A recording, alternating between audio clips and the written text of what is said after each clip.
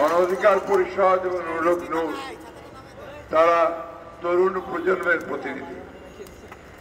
বাংলাদেশের তরুণেরা যখন রাজনীতি থেকে মুখ ফিরিয়ে নিয়েছে, সেই সময় ঢাকা বিশ্ববিদ্যালয়ে নির্বাচিত ভিপি রুলক নূর সদ বাধা বিপত্তি উপেক্ষা করে, নির্যাতন, নিপীড়ন সহ্য করে এক ঝাঁক তরুণকে নিয়ে সত্যিকার অর্থেই গণতন্ত্রকে প্রতিষ্ঠার লক্ষ্যে আন্দোলন শুরু করেছে। এটা আমাদের জন্য, জাতির জন্য নিঃসন্দেহে একটা আশার কথা। প্রিয় বন্ধুগণ, আজকে আমরা একটা ভয়াবহ একটা সংকটের সম্মুখীন হয়েছি। সংকটটি হচ্ছে যে আজকে এমন একটি সরকার যারা জনগণের দ্বারা নির্বাচিত নয়, যারা জনগণকে মিথ্যা কথা বলে প্রতারণা করে, ছল চাতুরি করে, দুটো নির্বাচনে কোনো ভোটারের উপস্থিতি ছাড়াই নির্বাচনগুলোতে নিজেদেরকে জয়ী ঘোষণা করে ক্ষমতা দখল করে বসে আছে। আবার এই দলটি এখন আগামী চব্বিশ দু হাজার চব্বিশ সালে যে নির্বাচন হবে, সেই নির্বাচনে আবারও তারা এই নির্বাচন অনুষ্ঠান করে সেই একই কায়দায় তারা নির্বাচিত হওয়ার স্বপ্ন দেখছে। বন্ধুগণ, আমরা, আপনারা জানেন যে দু হাজার চোদ্দ সালে আমরা নির্বাচন বর্জন করেছিলাম। দু হাজার আঠেরো সালে আমরা এই বর্তমানে যিনি অবৈধ সরকারের অবৈধ প্রধানমন্ত্রী হয়ে আছেন তার কথায় আমরা নির্বাচনে গিয়েছিলাম। তিনি প্রমিস করেছিলেন জাতির সামনে যে নির্বাচনে যারা আসবে, তাদেরকে সমান সুযোগ দেওয়া হবে, অর্থাৎ লেভেল ফিলিং তৈরি করা হবে। শিডিউল ঘোষণার পরে কাউকে গ্রেফতার করা হবে না, এবং নির্বাচন সুষ্ঠু অবাধ হবে। কিন্তু আমরা সবাই দেখেছি, জনগণ দেখেছে, সারা বাংলাদেশ দেখেছে, পৃথিবী দেখেছে যে সেই নির্বাচন ভোটের আগের রাতেই নির্বাচন হয়ে গেছে, তাই না? বন্ধুগণ, আবার তারা এখন বলতে শুরু করেছে। এবং জোরে সরে তারস্বরে চিৎকার করে বলছে যে, আমরা নির্বাচন করব, ওই সংবিধান অনুযায়ী নির্বাচন করব, সেইভাবেই নির্বাচন হবে এবং সেটা সুষ্ঠু, অবাধ, নিরপেক্ষ হবে। তাই না? আজকেও কিছুক্ষণ আগে এই আওয়ামী লীগের সভানেত্রী, তিনি গণভবনে সংবাদ সম্মেলন করে একই কথা বলেছেন। আপনারা বারবার বলেন যে সুষ্ঠু অবাধ হবে, নিরপেক্ষ হবে। কিন্তু ইতিমধ্যে যদি আপনি পেছন দিকে তাকিয়ে দেখেন যে গত পনেরো বছরে বিরোধী দলের, বিশেষ করে প্রধান বিরোধী দল বিএনপির পঁয়তাল্লিশ লক্ষ নেতা কর্মীর বিরুদ্ধে মিথ্যা মামলা দিয়েছেন। আপনারা ছয়শোর অধিক নেতা কর্মীকে গুম করে দিয়েছেন। হাজার হাজার মানুষকে বিনা বিচারে হত্যা করেছেন। এবং আপনার পত্র পত্রিকায় সব বেরিয়ে এসেছে যে এখন বিএনপির নেতাদের বিরুদ্ধে যত মামলা, আপনারা দেখেছেন না? বড় বড় পত্রিকা গত বের হয়েছে, তাই না? আমাদের এক সাইফুল ইসলাম নীরবের বিরুদ্ধে আছে সাড়ে চারশো। আমাদের টুকু সুলতান সাহাদের টুকুর বিরুদ্ধে আছে প্রায় তিনশো। মহাজেব হোসেন আলালের বিরুদ্ধে আছে প্রায় চারশো। এইরকম সমস্ত নেতা এমনকি শ্রেষ্ঠ নেত্রী বেগম খালেদাজিয়ার বিরুদ্ধে ছত্রিশটা মামলা। আমার বিরুদ্ধে আছে আটানব্বইটা। আমাদের সব স্ট্যান্ডিং কমিটির সদস্যদের বিরুদ্ধে এইরকম অসংখ্য শুধু তাই নয় এখন যতই নির্বাচন ঘনিয়ে আসছে, এই এত বছর তারা এই মামলাগুলোকে ফেলে রেখে দিয়েছিল। এখন তারা অতি দ্রুত এই মামলাগুলোকে নিষ্পত্তি করে এই বিরোধী দলের নেতা কর্মীদেরকে আমাদেরকে সাজা দেওয়ার জন্য স্পেশাল সেল তৈরি করেছে। তার নির্দেশ দিয়েছে ম্যাজিস্ট্রেটদেরকে, বিচারকদেরকে যদি দ্রুত বিচার বিচার শেষ করো এবং দুই মাসের মধ্যে শেষ পুলিশকে বলেছে যেগুলো চার্জশিট হয় নাই সেগুলো চার্জশিট করো। অতি দ্রুত। বন্ধুগণ, এটার নাম হচ্ছে তাদের সুষ্ঠু নির্বাচন। যারা খেলবে মাঠে, উনি সবসময় বলেন না, আমাদের ওবায়দুল কাদের সাহেব, যে খেলা হবে। সময় নাই, থামেন। কথাটা শোনেন, ভুয়া কাউয়া বলার অনেক সময় পাবেন। শোনেন শোনেন উনি সবসময় বলেন খেলা হবে তাই না? তো খেলবেন কি? কার সঙ্গে খেলবেন? যাদের সঙ্গে খেলবেন তাদের সবাইকে তো জেলে পাঠিয়ে দিচ্ছেন। অর্থাৎ তাদের সম্পূর্ণ মিথ্যা কথা দিয়ে মানুষকে প্রতারণা করা তাদেরকে বোকা বানানোর চেষ্টা করা এবং খালি মাঠে আমরা এটাকে বলি ওয়াক ওভার ওয়াক ওভার নিয়ে আবার সরকার গঠন করা। তাই না? ওইটা করার এবার বাদ হয়েছে, কিছুটা বাধা এসছে। প্রত্যেকে এসছে, ওই পশ্চিমা বিশ্বের গণতান্ত্রিক দেশগুলো, তারা এবার বাধা দিয়েছে। বলেছে ওই চোদ্দ আর আঠারো নির্বাচন চলবে না। এবার একটা সুষ্ঠু অবাধ অংশগ্রহণকারী নির্বাচন হতে হবে। আমরা আমাদের অভিজ্ঞতা থেকে বলেছি, ওই নির্বাচন হতে হলে হাসিনার অধীনে হবে না। সম্ভব না, তাই না? সুতরাং কথা একটাই, যে এই শেখ হাসিনার অধীনে, এই সরকারের অধীনে কোনো নির্বাচন হতে পারে না। তাই আমরা আজকে এখানে যাদের দেখছেন, আমরা সবাই মিলে বাংলাদেশের সমস্ত রাজনৈতিক দলগুলো মিলে আমরা ঐক্য গঠন করেছি।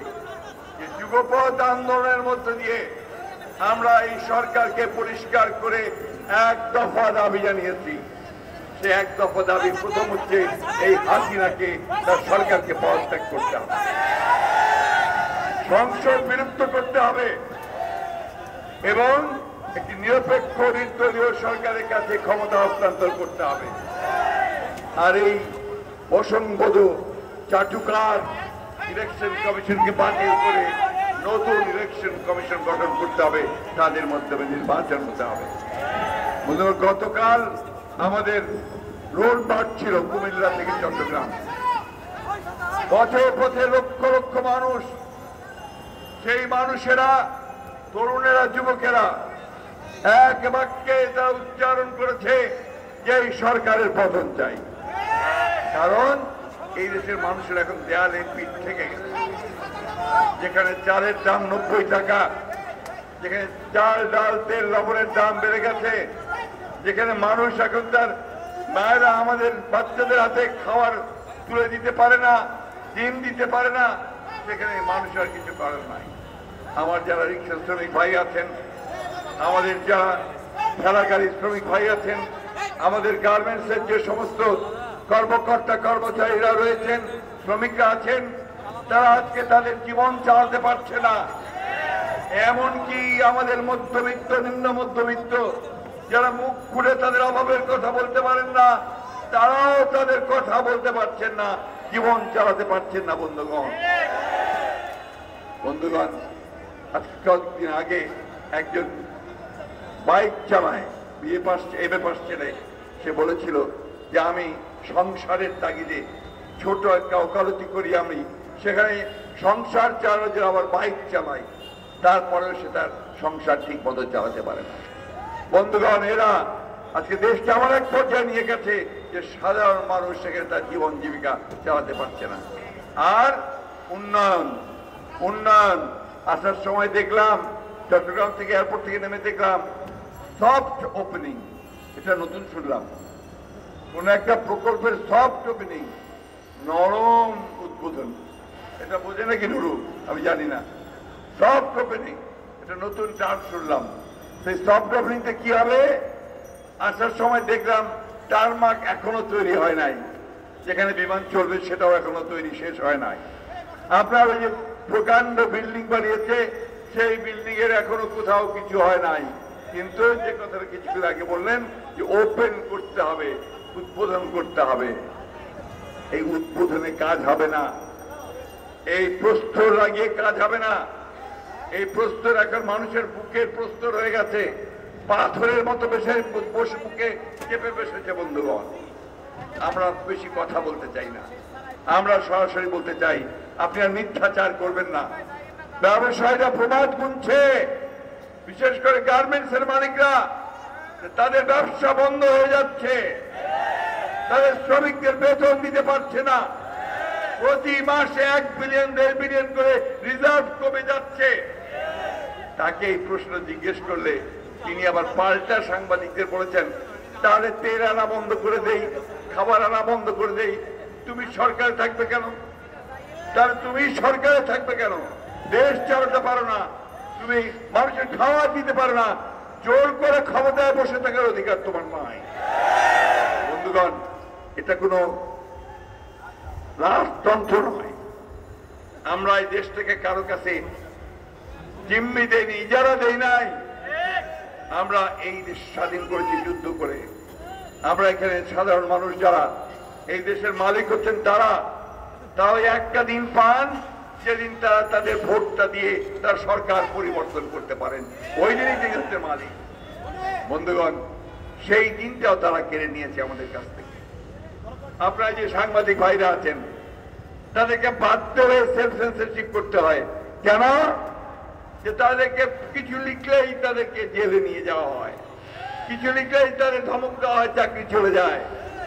ওই ইদি আমিন ছিলেন না? ইদি আমিন আগে একজন বলেছেন, উগান্ডার শাসক তাকে সাংবাদিকরা জিজ্ঞেস করেছিল যে, তোমার ফ্রিডম অফ স্পিচ আছে দেশে? তুমি এটা কি করো?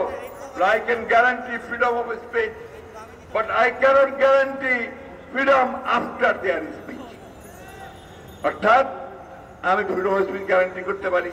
কিন্তু ওই বক্তৃতা বা বক্তব্য বসে লেখার পরে তোমার সেই ফ্রিডম থাকবে কিনা, সেটা আমি নিশ্চিত করে বলতে পারি না।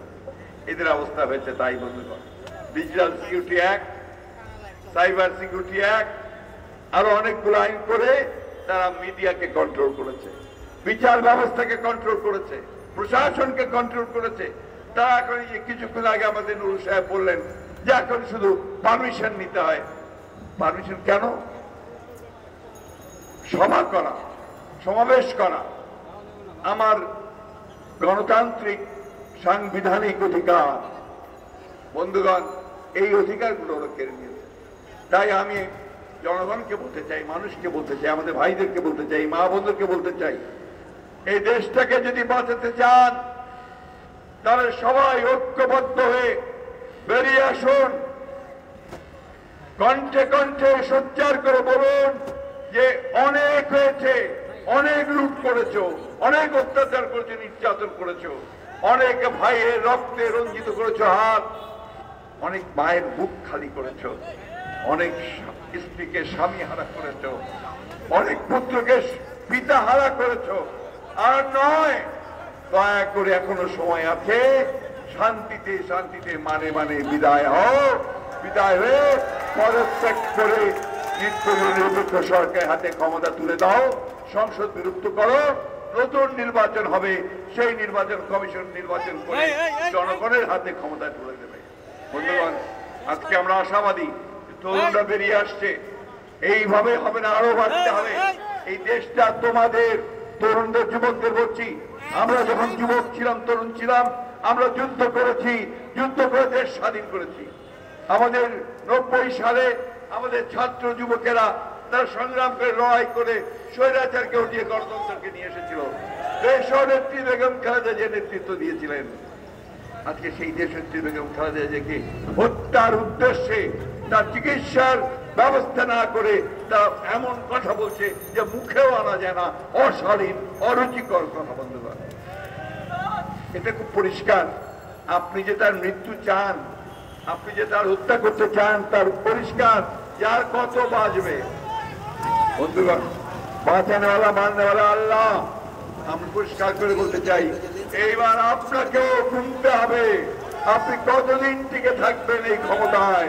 জনগণ আপনার সেই ক্ষমতা টেনে হিচড়ে বের করে জনগণের শাসন ধন্যবাদ সকলকে বৃষ্টি এসছে কথা বলার সময় কম ছিল।